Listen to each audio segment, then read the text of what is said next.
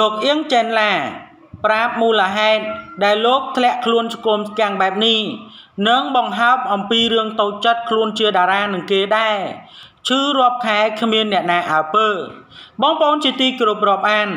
លោកអៀងចេនឡា លោកបានលើកឡើងបែបនេះហាក់បីដូចជាមានបំណង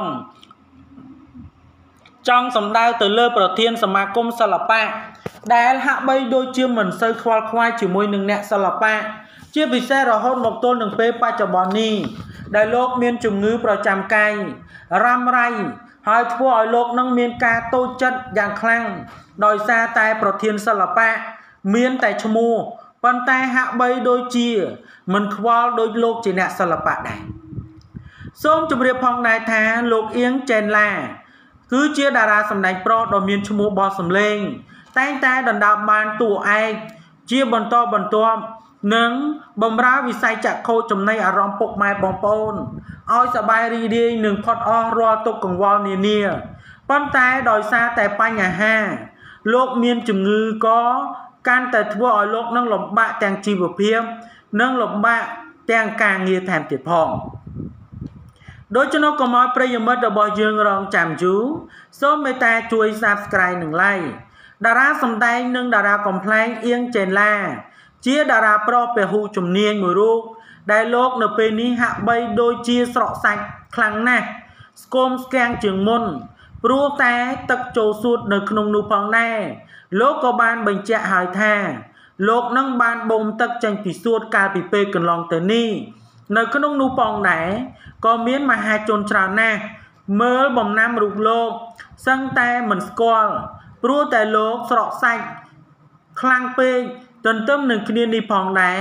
ក៏មានអ្នកគ្រប់គ្រងមួយចំនួននឹងជូនពលលោកឲ្យបានឆាប់ជាពីជំងឺយ៉ាងណាមិញតារាកំ pl ែងនិងតារាសម្ដែងរូបនេះ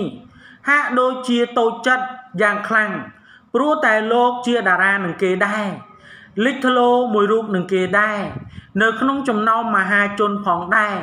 ប៉ុន្តែពុំឃើញមានអ្នកណាយកចិត្តទុកដាក់នឹងលោកនោះទេ ជាមួយនឹងគ្នានេះផងដែរតារារូបនេះលោកបានពោលពាក្យតូចចិត្តតូចថ្លាមទៅលើគេទំព័រ Facebook របស់ខ្លួនដោយលោកបានលើកឡើងថាហេតុតែលោកនឹងពុំមែនជាតារាល្បីនឹងគេទើបឈឺពុំមានសមាគមណាគេអើពើហើយលោកបន្ថែមថា លោកមិនចង់បានជំនួយអីនោះទេ ចង់បានត្រឹមការសួរសុខទុក្ខនៅក្នុងនាមជាសិល្បករប្រឡូករយៈពេលជាង20ឆ្នាំនឹងគេដែរតាមសំណេរលោកអៀងចេនឡាលោកបានសរសេរឲ្យដឹងទៀតថាខ្ញុំនឹងមិនមែនជាអ្នកសិល្បៈឬក៏ជាតារាល្បីអីនឹងគេ មើលទៅទៅឈឺគ្មាន សមាគមខាងណាគេអើពើ ខ្ញុំនឹងមិនចង់បានជំនួយអីទេ ចង់បានត្រឹមតែការសួរសុខទុក្ខនៅក្នុងនាមជាសិល្បករ